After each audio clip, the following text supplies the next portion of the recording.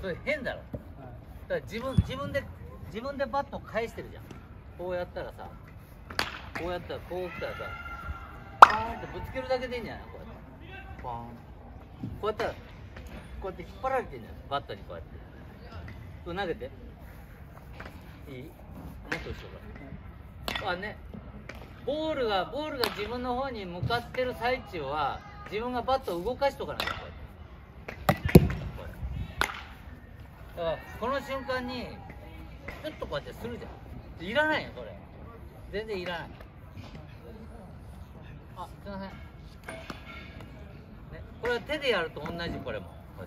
手でやるとこうやったらなってこうやっていくんじゃなくてバットがす肘が出ると手は後ろに下がっていくからこういうこういう動きになる。こういう動き。そう。もう一回投げて。こうやって見とけよ。こうやって痛いわけじゃんこうやって伸びてくるよほら。ちゃんと打ってないだろ。だってこう来たらもう伸びなきゃいけないんだよこっちの手でボールを投げるとこうやって正面投げてごらん。正面向いて投げてごらんおそうやって投げれるじゃん自分のところに戻してそううんあその動きを忘れないで、はい、今投げる感覚でやってごらん、はい、そうだね。はいそのそのかこうしないで。こう内旋するから。手をこう上向けてごらん。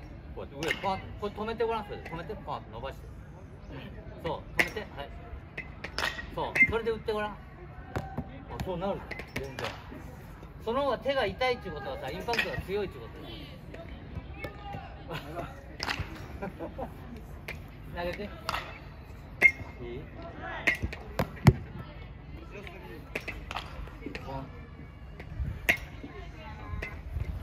伸びる伸びるはい。どんどんこうやっていくからもうここで入れ替わるぐらいのつもりでここでキュッ。こう続けてごらんか回してごらんか。そう回す回す回す回す。回す。はい。こうやってあパッとパッとはい。片手でピョンと伸ばして。後ろこう。自然にこうやって前出てきて。そうそうそう。今の今の今の。うん。はいそういう使い方を。右手がしていけばボールって。自然に捕まって。くる自然に捕まって。くる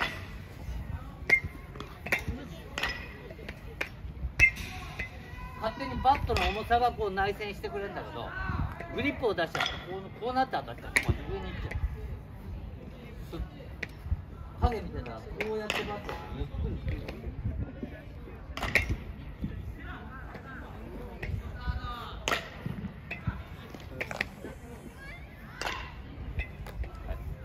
思いっきり後ろ回して回してるそうそう。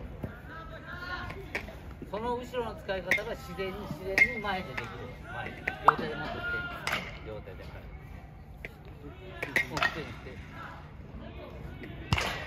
これ普通じゃないじゃん胸胸ぐらいのところバット振ってここの高さをバット振ってごらんその後ろを意識しなくていいから前前振って前。前振って前振って。前前前。前振っていい前前もっとアッパーで振ってい。い。そうそう。これをじっとして。い。く止まった止まって。から振って。ごらんそのままそうそう。足上げて。はい。足上げて、うん、バット立って。い。い。よちょっとちょっと握って。指握って。そっからタイミング取って。打って。ごらん、はい、このままこのままこのままじっとして足上げた時に。そうすると自分でバットこうやって動いてくるじゃん自然に。もっともっと動いてていい動いてていい。ボールが動いてる間バットのヘッドが動きながら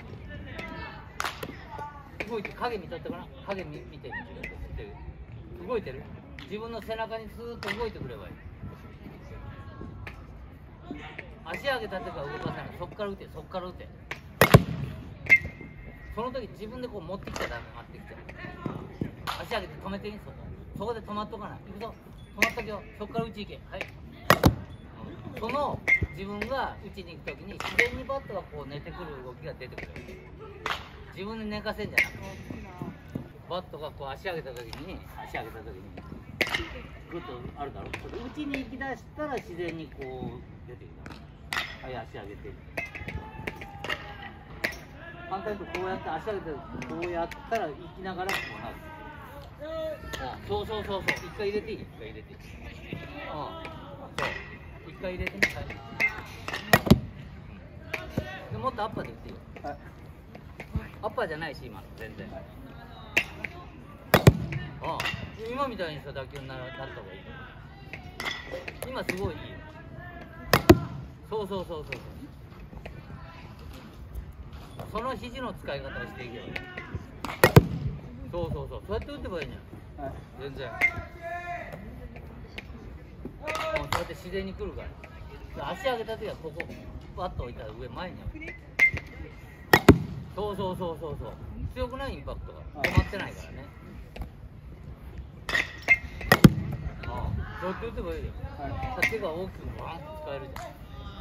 ええ。いいや。大丈夫すぐ治るすぐ治る。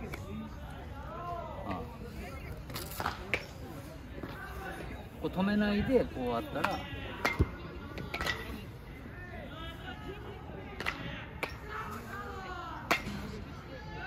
止めないで。